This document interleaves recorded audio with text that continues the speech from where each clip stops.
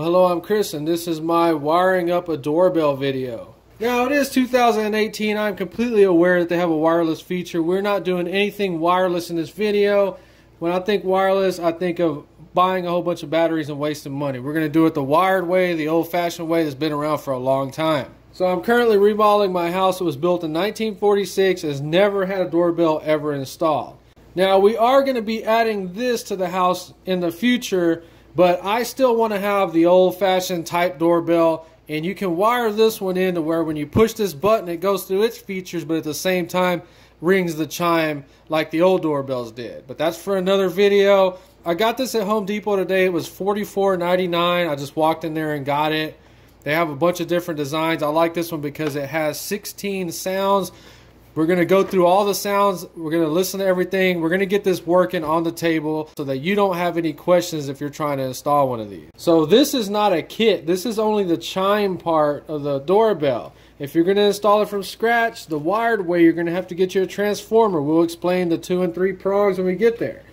You're going to have to get you some wire. This is 20 gauge, just two strands. It's a bell wire. Whenever you're doing your doorbell, you want to use bell wire so the next person that comes along doesn't say, oh my God, what was this person thinking? Even though wire is wire, use the right kind of wire. This was about $11. And you got to buy your buttons. I think that these are the best looking buttons of all of them, but there's a whole bunch you can choose from. All of this will run you under $100 even if you needed more wire but I was able to walk into Home Depot today and get all this with no problems. So the only kind of special tool you will need is some type of meter just to check the voltage and make sure this wire is not live or hot while you work on it. So on your multimeter, we're going to put it on the 200 for AC, alternating current. Okay, so I have this little setup. We're going to wire everything up right here so you can see it in real life and we're going to make sure this thing works 100%. Now I will throw a wire diagram in there. We're going to have timestamps in the video in case you want to skip ahead. So the first thing you have to get you a 110 volt source. This can come from your lights, this can come from your wall plugs. So you're going to have to figure out a way. You may need to get an electrician to figure out how to get you wires to power the transformer. First thing we want to do is we want to make sure that these wires are off. Shut the breaker off. The black is hot, the white is neutral, the green is ground. So you still need to check different ones because people don't always wire this stuff up right. So check them like this, move around, make sure that you don't have any power, any voltage between these three. Okay, so we have 110 power as a source, but our doorbell doesn't need that much power, so it steps it down with this transformer. You need to make 100% sure you get the right one, 16 volts. Okay, so for the transformers, they have the two and three prongs. The two prong are usually for 16 volts, and when you have three prongs, you see you get 24 if you wire to those two, 16 of these two, and 8 volts if you wire to these two. So the only thing you need to know about a transformer, in this situation, is going to step the power down, so it's going to release heat. You need to mount this in its own little electrical box. When I get there, it's going to have its own box with its own little lid. So this screw is supposed to be able to clamp to the inside of that box. I just don't see how that's going to happen in this video. So we're just going to mount it right here so you can see everything. Okay, so when you're wiring stuff up like this and you got to go into a box, you need to put something in there to hold these wires down. So that, that's what they sell. So you get this at Home Depot or Lowe's. So run your wires through, get them in a comfortable place, tighten them down.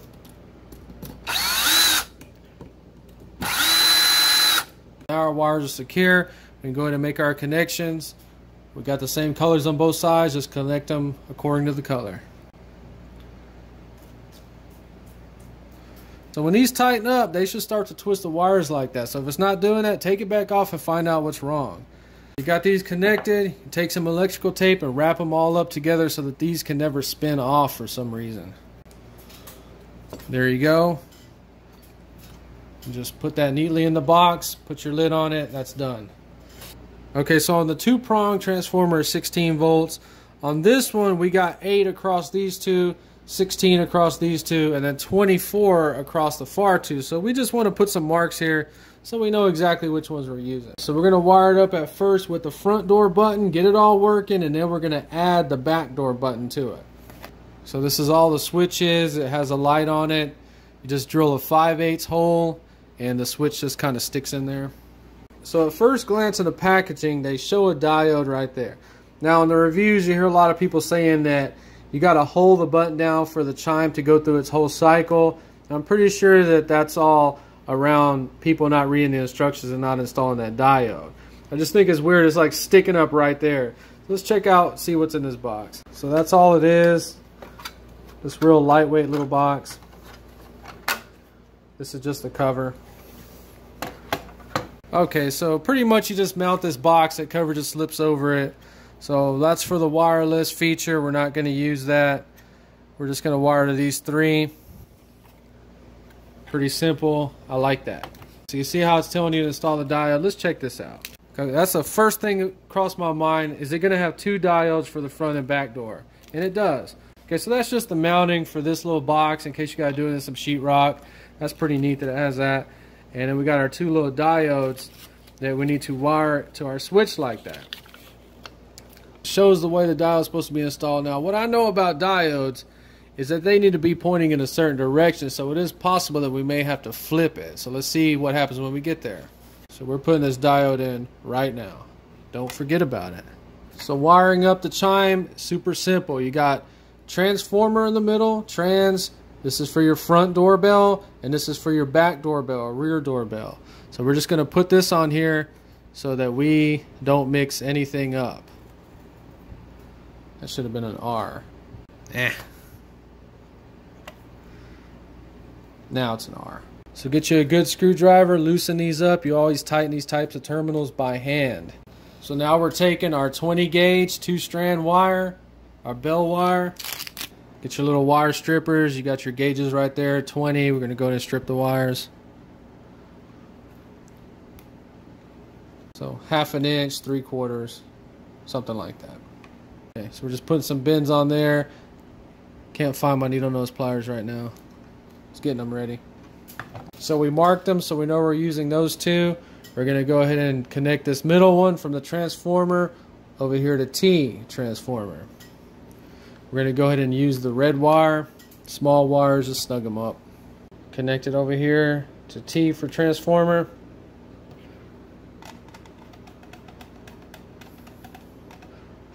Okay, so we just run in one straight wire from the transformer to the chime, T for transformer. Okay, so this is the wire going through our switch. Go ahead and connect it to the transformer. So we're connecting it to the F for the front door.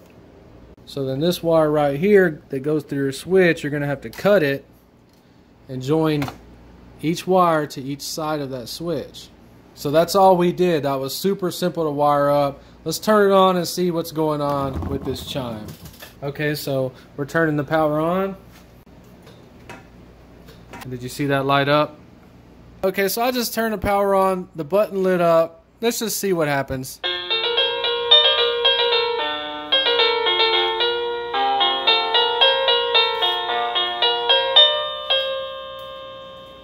That's awesome. I'm excited. I'm happy. It was so easy. Uh, so I got lucky the first time. Let's switch the diode around and let's see if that's what's causing all these people's problems. So we're behind it again. Now pay attention to the direction of that diode. It's got a little silver side on it that's going in the direction towards the chime. If you don't know anything about diodes, they're going to allow the electricity to flow in one direction. So a lot of people were talking bad about this setup right here. So let's switch that around and let's see if that's what's causing the problem where you got to hold the button down to get the full cycle of the chime. Okay, so you can see that diode has a little touch of silver. We had that silver towards the chime. We're going to put it in backwards. So switching that diode around is actually the hardest part of this whole video. So we got the diode switched towards the transformer. Let's see what happens now. Still works.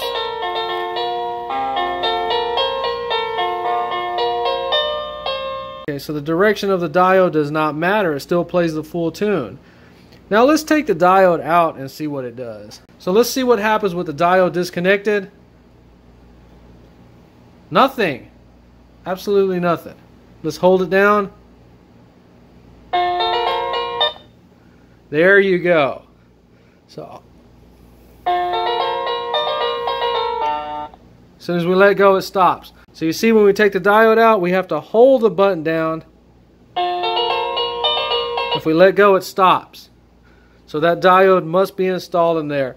So shame on you, all you people on the internet that went on the Home Depot website giving this product a bad review, saying it doesn't work. You didn't read the instructions, you didn't have the diode in there. So like I said, it doesn't matter which direction the silver is pointing to, it works both ways. Let's get it back in there and finish this video up. So I'm not gonna lie to you, it is hard to make sure that diode is in there, so tug on it, wiggle it, and make sure it's not loose. Okay, so another thing is you may want to wrap all this up with some electrical tape so you don't cause any type of interference with some uh, metal siding or any kind of trim or flashing you have in there. So we got it wired up.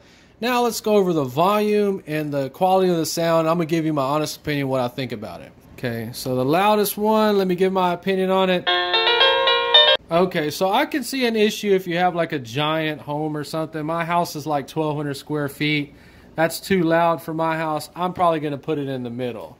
But yeah, if you have one of these new fancy houses, this is probably not going to be loud enough. So maybe I'll turn it up, not all the way, maybe about right here in my house. So let's try to change the tune. We're going to cycle through 16. Don't like that one. Eh.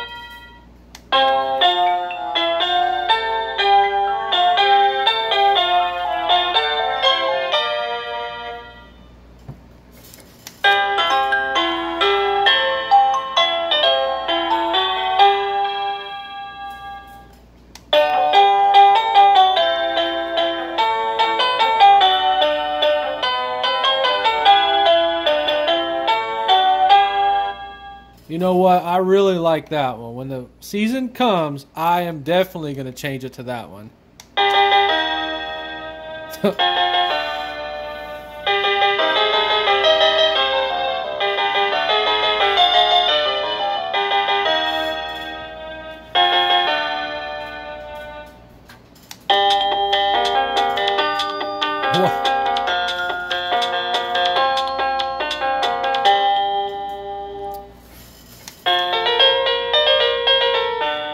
think I like that one. I'm going to leave it. So let's go ahead and wire that second doorbell in for the rear door and see how easy that is. So we got our back door switch ready and our diode. You need to get power from the same place. So in other words, you can splice anywhere in this wire right here to give power to your rear doorbell. We're going to go ahead and run it right here because that's just the easiest way to understand it. We only need one wire for this. So we're going to run it exactly like we ran that switch, but we're going to connect it over here to the R for the rear door. So we're going to go ahead and loosen this one up and run it right here. So a little tip, you bend your wire the rotation of the screw to tighten it. If you do it the opposite, it's going to want to come out and get undone. I can see why people were having problems with this because if you just tug on that wire, it'll pull it loose. So you got to be very careful. Tug on that diode, it's in there. We take that wire and we're going to run it to our rear door switch.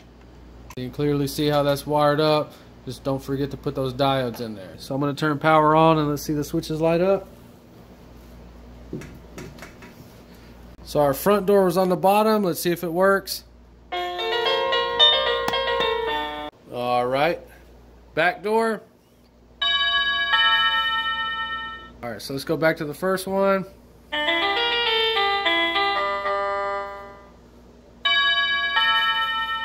Okay, so I guess the back door one is just always that default chime. I guess that makes sense because you always know they're at the back door. So we're going to do a simplified wiring diagram in case you want to screenshot this. Okay, so on a transformer, we're going to run one red wire over to the transformer T on the chime. And that's a red 20 gauge wire. Okay, so we got our front and our rear doorbell switches. Remember to put that diode in there. We got our diode installed. It does not matter which direction the silver is pointing. So on the transformer, it does not matter which screw you use to go straight to the transformer. Whichever one's left, we're going to wire to the doorbell switches. So the wire that's left, we can splice it into two, or we can run two separate wires back to this screw. So we're just going to splice it in two run one side to one switch, and then we're to splice it to the rear doorbell switch. Then the other side of the front doorbell is to be ran right here to F, and then the other side of the rear doorbell right there to R. So there you go. In case you want to screenshot it, don't forget those diodes. So that's it for the video. I recommend this product to anybody. I am just amazed at how easy it was to set up. I, for some reason, thought it was going to be a little tricky because we had a transformer there's nothing hard about it. Anybody could do this. Just follow the instructions, wire it like this. Don't forget the diodes. If you enjoyed this video, please like and subscribe, and thanks for watching.